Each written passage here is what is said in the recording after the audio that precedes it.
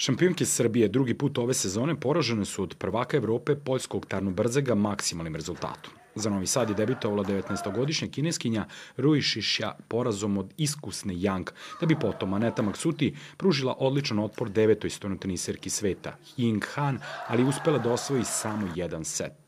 U posljednjem meču večeri Tijana Jokić u prvom setu propustila tri set lopte protiv iskusne Rumunke Elizabete Samare, pa do kraja susreta nije uspela da meč učini neizvesnijim. Stonoteniserke Novog Sada u narednom kolu 4. decembra dočekuju francuski Jouele Tour, koji su prethodne nedelje savladali na gostovanju 3-2. U slučaju novog triumfa, izabranice Slobodana Stojanova drugu sezonu za redom obezbedit će plasman u četvrt finale Ligi šampiona.